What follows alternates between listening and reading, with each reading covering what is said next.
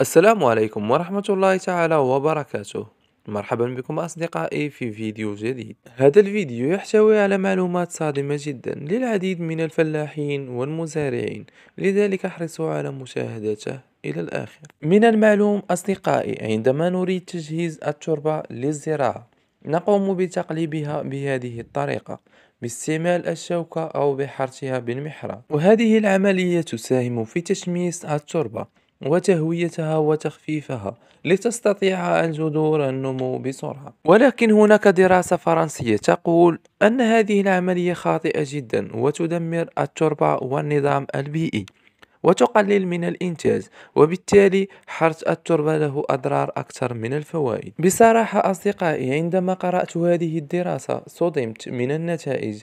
لذلك بما أن قناتنا تختص بالزراعة فقررت أن أشارككم هذه المعلومة وأصدمكم معي. لا يجب أن أصدم وحدي. سأقوم بمشاركتكم خلاصة الدراسة فقط. تقول هذه الدراسة أن هناك مجموعة من الحشرات بعضها يعيش فوق سطح التربة وأخرى تعيش تحت سطح التربة في منطقة التخمر. وعند تقليب التربة بعمق نقوم بقلب وسط العيش وعن طريق الخطأ نقوم بقتل معظم هذه الحشرات.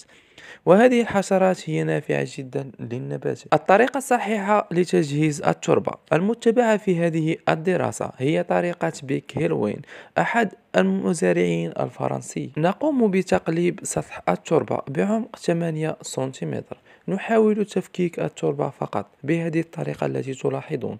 نقوم إما باستعمال الشوكة أو باستعمال أحد الأدوات الخاصة بهذه العملية. من ناحية الجهد هذه العملية أفضل من تقليب التربة بعمق. لأنك لا تقوم بأي مجهود. أما من ناحية الفعالية والإنتاج صراحة لم أقم بتجربتها من قبل وهذه هي أول مرة. أو يمكننا استعمال هذا المجدرف بدل ذلك نقوم بتحطيم به سطح التربة حتى يصبح خفيف. بالنسبة للمساحات الكبيرة نستعمل هذه الآلية المسؤولة عن تحطيم الطوب بدلا من المحراث هذه الدراسة أصدقائي أجرتها إنغا وهي المعهد الوطني للبحث الزراعي الفرنسي. سأقوم بمشاركة لكم رابط هذه الدراسة في صندوق الوصف. هذه الدراسة هي تجربة علمية وعملية. دامت أربعون شهرا. أجريت على ألف متر مربع من مزرعة أحد المزارعين الفرنسيين.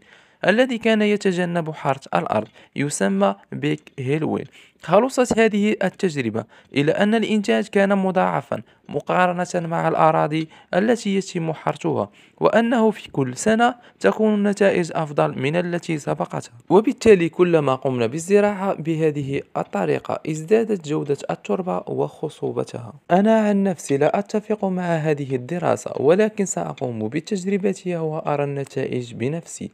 وأنتم لا تنسوا أن تشاركون آراءكم في التعليقات. هل تتفقون أم لا؟ بعد ذلك سنقوم بإضافة السماد العضوي ونقوم بخلطه مع التربة بالطريقة المعتادة. وبعد ذلك نقوم بتغطيته بالقش أو باستعمال أوراق الأشجار لنحافظ على رطوبة التربة. إلى هنا ينتهي هذا الفيديو. أتمنى أن يكون قد نال إعجابكم وأشكركم على المشاهدة. ولا تنسوا الاشتراك وتفعيل زر الجرس ليصلكم كل جديد. وإلى اللقاء في الفيديو القادم إن شاء الله.